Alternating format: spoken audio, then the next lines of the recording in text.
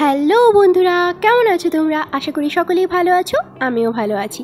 আমি লিপিকা, আমার চ্যানেলে তোমাদের সকলকে স্বাগত জানিয়ে শুরু করছি আজকে নতুন ব্লগ। আজকে হচ্ছে আমাদের এখানে ভাইফোঁটা। আজকে তোমাদের সাথে শেয়ার করব সারাদিনে আজকে ভাইফোঁটার দিন আমরা কি কি করেছি। তো চলো লেটস গো এখন বেজে গেছে সাড়ে নয়টা। সাড়ে নটার সময় আজকে সকালবেলা এখন আমার মেয়ে এদিকে পড়তে বসেছে, বড় মেয়ে। যেদিন মেয়ে বয়ের মানে স্কুলে যায় না ওই দিন সকাল সকালে ও একটু পড়াশুনো করে, তো ওইখানে পড়াশুনো করছে। আর ছোটোজন হ্যাঁ ছোটোজন উঠে গেছে।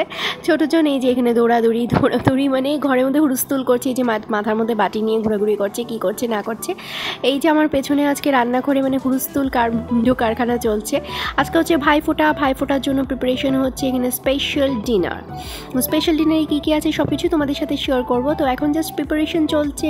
এই যে এখানে ডিমে হলুদ লবণ মাখিয়ে রাখা হয়েছে, ফুলকপি কেটে রাখা হয়েছে। ডিমের খোসা ছাড়ানো হচ্ছে।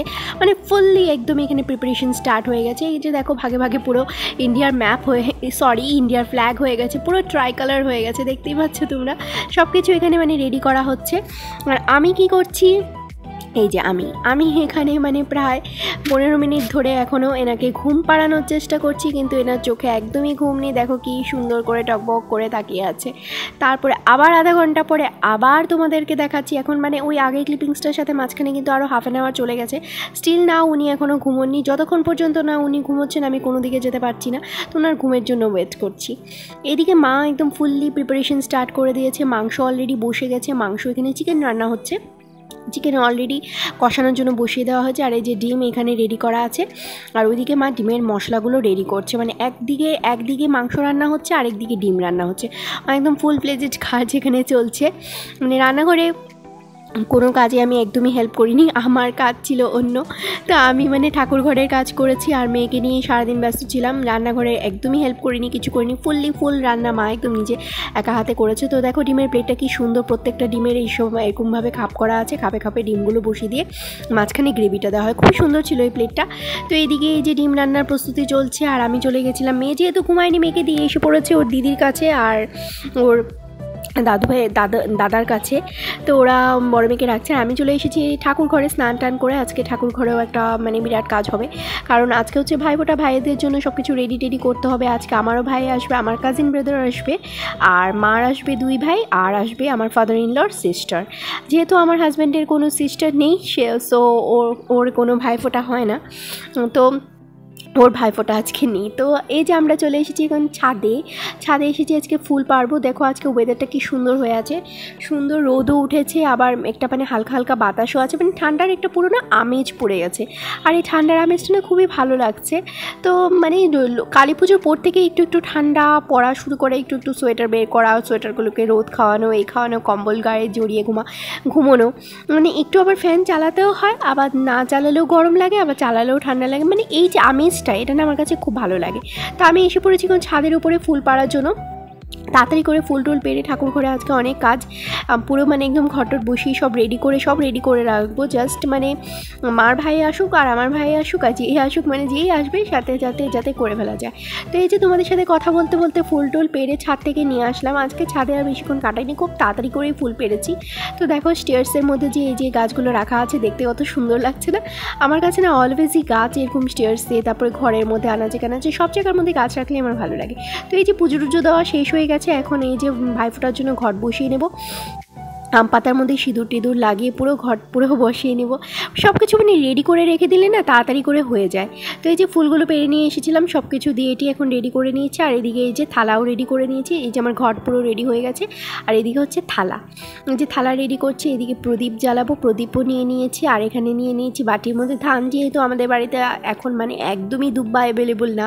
শুধু দুব্বা আমি একদমই পাইনি। আর এই যে চন্দন টন্দন বেটে তারপরে এই যে কালি তুলেছি, যাতে কালির ফোঁটা দেওয়া হবে।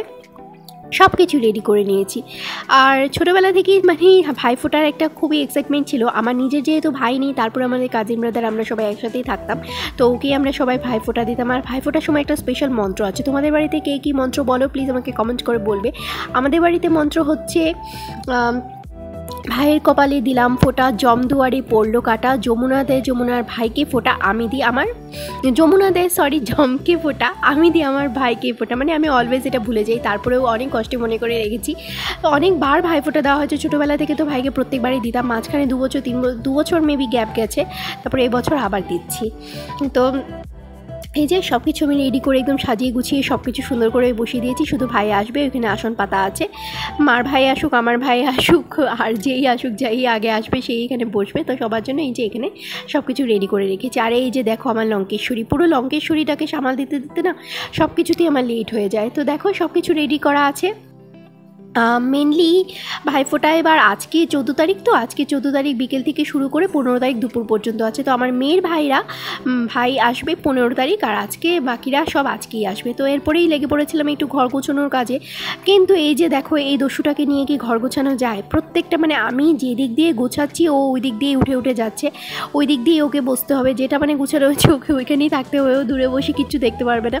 ওর মানে এদিকে আমার সাথে গুরু গুরু গুরু গুরু করতে হবে। তো এর মধ্যেই দেখো এই লঙ্কুটাকে নিয়ে নিয়েই আমি দেখো গুছানোর কাজ করছি। লাইটটা প্রথমে একটু কম ছিল মানে আমার জন্য অসুবিধা হচ্ছিল না, কিন্তু এই যে পরে ভিডিও ক্লিপিংসগুলো দেখে মনে হচ্ছে যে বড় লাইটটা জ্বালিয়ে নিলেই ভালো ছিল আসলে।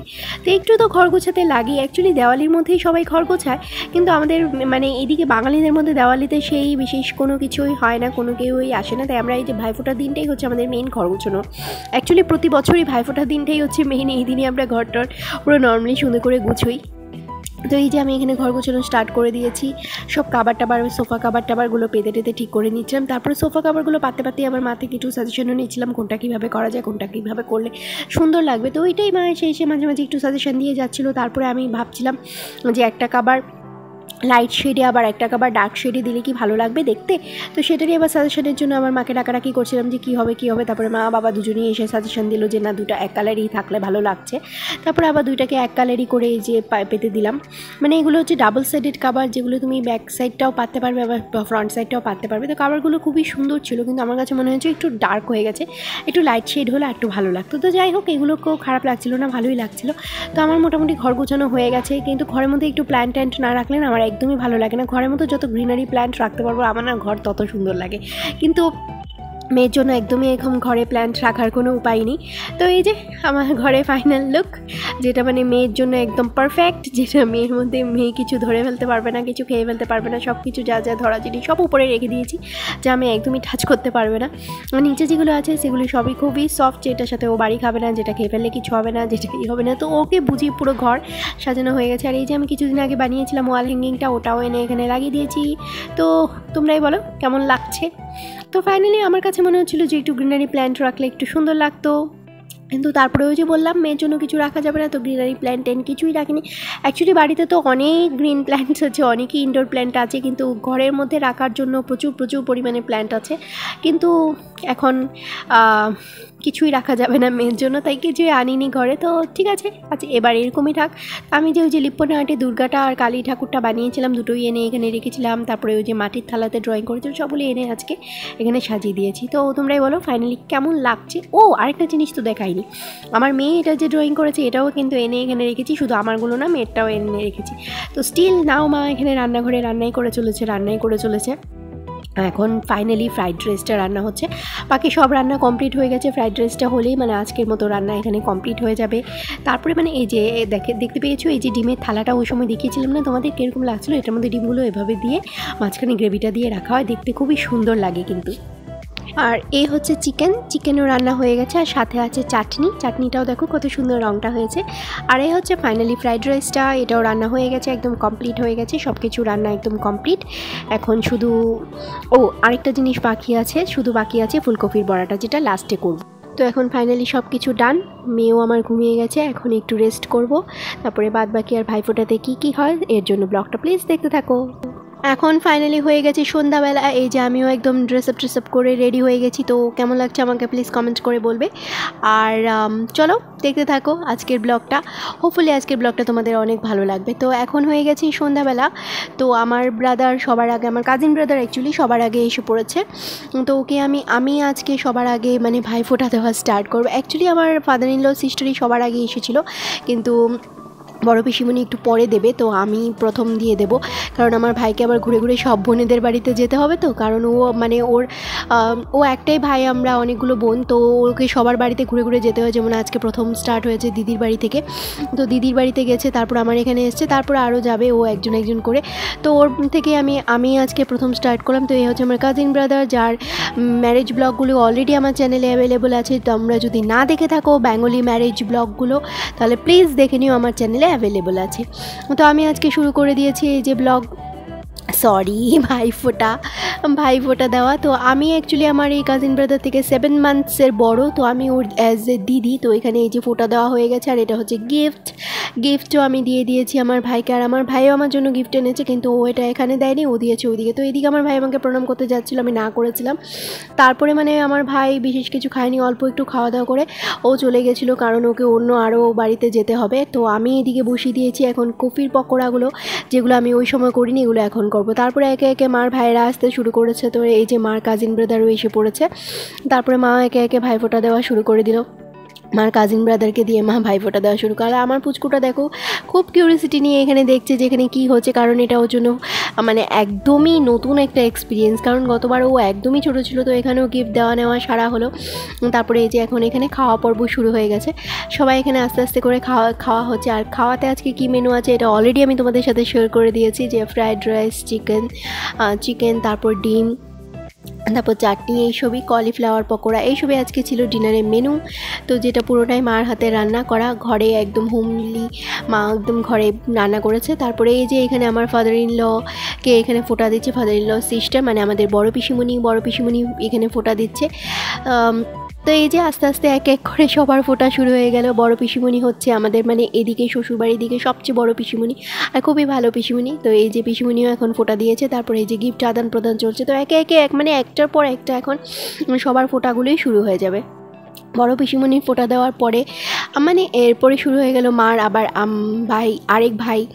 তো এই যে মামা, মামাকেও ফোঁটা দিচ্ছে। মামার সাথে সাথে মানে আমার পুচকুটা গিয়ে একদম মামার কোলের মধ্যে বসে গেছে তো।